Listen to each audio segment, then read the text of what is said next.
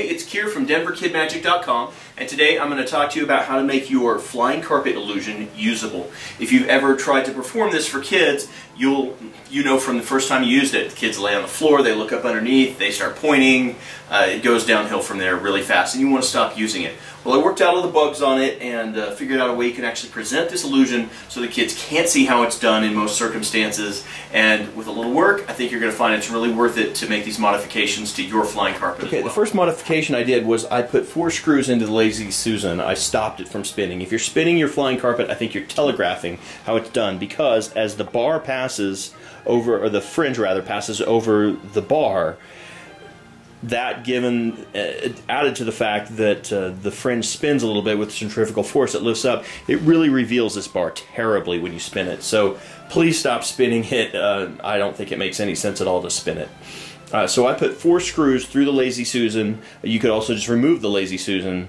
uh, whichever you prefer. But I just drilled uh, four holes and put four sheet metal screws through there, and that keeps it from spinning anymore. The next thing we're going to look at is the back of the flying carpet here. And you're going to see what I did was I actually made, uh, I affectionately call this the Fu Manchu piece because it looks like a little Fu Manchu goatee at the bottom here. And I actually glued underneath, I affixed some pieces of fringe underneath there so that there's no longer this gap. If I didn't have this piece in here, when the kids look up underneath, they see this great big gap right here with no fringe, and it telegraphs that there's something going through it. So what I did, I'll peel some of this back here. You can see some of my other modifications. You can see I basically just stuck little pieces of fringe underneath there. And I did that by taking little pieces of fabric about really longer than they needed to be and hot gluing them on a piece of fabric and then you can't see it in this picture but ultimately I folded that fabric back over and then I hot glued the whole thing to the underside of this bar so it's it's uh, hot glued right along here and then it was way too long so then ultimately I just sheared it off to match the height of everything else. Okay, so the next modification I made was I made a board that fits behind the flying carpet. You notice it's the same height all the way along there. It doesn't have wheels on the back piece, but it just sits up at, at the same height as the platform in the front. And of course you'll notice my flying carpet has black glittery kind of cloth over the whole bottom. That's of course a modification I've done myself as well. And if we were to look at the bottom of this board, we'd see kind of what it looks like. It just has uh, like a H shape on the bottom. See the H. And that supports it. It goes behind like this. And then there's a little piece to fill in the gap here as well. We want to remove anything that's going to telegraph there's something supporting there. And that's basically what that piece, this little extra piece does. So now, from the front, as I pull this board back,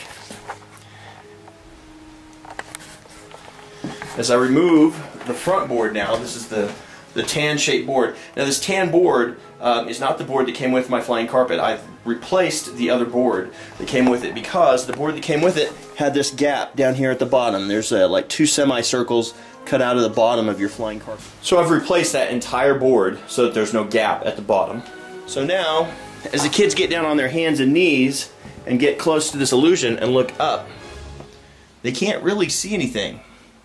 They can't see a, an actual connection because that, again, that little piece I call the Fu Manchu piece is uh, covering the black bar. And the other thing I've built here underneath is a black board. And I'll show you this black board. It actually slides out. What you're seeing here is a sheet of very thin press board. It's uh, 14 by 18 inches, and it's got two blocks of wood to slide on either side of the rail. That's the metal rail that goes through the center that holds the weight of the child on the illusion. And this is just a wooden stick. Um, and then there's popsicle sticks under this end of it, just giving it a little bit of a gap. The popsicle sticks end right here. The dimensions of all this you're going to kind of have to play with. As you build it, you'll figure out what size to make everything as you assemble it. And then on the other side, the board is black, and there is a magnet Gorilla Glued right here. And this whole ensemble is going to slide inside of my flying carpet illusion. I pushed it all the way in now. And that magnet will hold it into place. And then that fringe is all going to come out. And once that fringe is out, it looks pretty normal. takes a little bit to comb it all out. And what that does is that keeps kids, when they're looking from the underside here, they're seeing a black bar. sheet. If that board were not there, they would see this big black bar and they would see it running through the back of the fringe. Right here where that uh, that little extra Fu Manchu piece is right there, they would see that black board or that black bar running right out the back. But again, this is their this is the best perspective they could get as their kids roll on the floor or whatever, and they really can't for sure see anything. They can tell that this board is fairly close, but they really can't see anything supporting it. So that's pretty much in summary how you make it look good and you can cover it from almost any angle. Naturally if they get around too far on the side they're going to see how it works. Uh, but as far as the front, if you keep the kids out in front of you in the audience, it doesn't matter how low on the floor they get, they can't see up under there. Now I made some other modifications here that I'll share with you that don't have anything to do with the angle issues. One thing I did is I Gorilla Glued a couple of magnets onto the tips of my swords. Um, mine came, I bought mine used, but mine do have some magnets right up under here, and I'm, I'm assuming yours do too. Little magnetic catches. But these swords, even though they're metal, they really don't catch that well. So with those magnets, boom, they're in there good. Some little neoprene magnets in there. Um, the other thing I highly recommend is to have a cape or a cover so that after the show you can have the whole thing draped so that curious eyes and I keep it covered. If you keep your uh, keep this covered like this then after the show curious eyes don't uh, see for sure. How it works now, another thing magicians like to do is to pass a hoop. I think it's a great idea. It shows that nothing is holding the child up from behind. And to just simply do what you might think of as a gooseneck move, even though there is no actual gooseneck. Now, if it's used on a long board, which is kind of what that gooseneck is used for on an illusion that has a gooseneck, it's because the levitation is long, the person is laying down. I think it looks a lot better when you're passing it over something long. So what I do is I have the child hold a broom. You could say it's Harry Potter's Nimbus 2000. You could just say it's going to make you lighter. It's a witch's broom for how, whatever you want to say. When you have them hold this broom, you can still do the gooseneck move if the hula hoop is large enough. This particular hula hoop that I have today is along the small side to do this with. Uh, my other hula hoop just broke the other day, so I don't have the appropriate size on hand. But if you have a child hold this and you have a big hoop, just like this, you can actually do the gooseneck type move, just like this, and bring it over the child and the broom in one pass, or a double pass that seems like one pass, if you're just kind of doing that rotation as you go through. So I like the broom, it adds length to that, uh, to that move when you're doing the, the gooseneck type move. Another little tidbit I'd like to share is where to place the board. If you pull this straight back, it's okay, it does the job.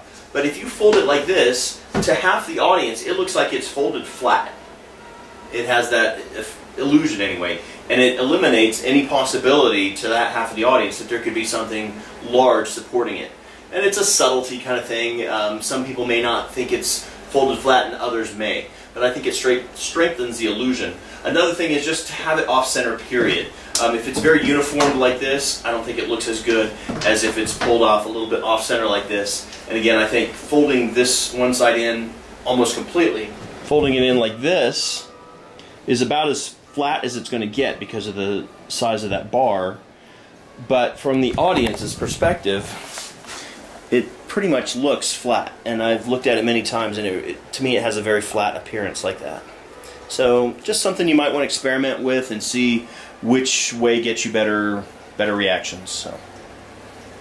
And my last tip is to get the kids off their feet. This is something you can experiment with. I tell all the kids, hey, this is a flying carpet, so what I need from you is I need you to create some airflow. Have you ever seen anybody on a flying carpet? Oh, the hair, their hair is always flowing in the wind, etc., etc. So I hand out all the kids a giant card, and I ask them to wave the cards like this. That gets them off their feet and makes it that much less likely that they'll peek up underneath. Because once one kid looks, they all go like dominoes. So that's just something you can experiment with. Personally, I don't think this is as necessary once you've made all these modifications because quite frankly now I don't care if they look because they really can't see anything like they could before. Um, before I made these modifications, every time I used it I cringed because I knew somebody in the audience was going to look under there and see. So put some effort into it. If you have any questions, drop me an email or a phone call or whatever and hopefully I can help you uh, if I haven't made anything clear. And uh, good luck. Hope you enjoy it.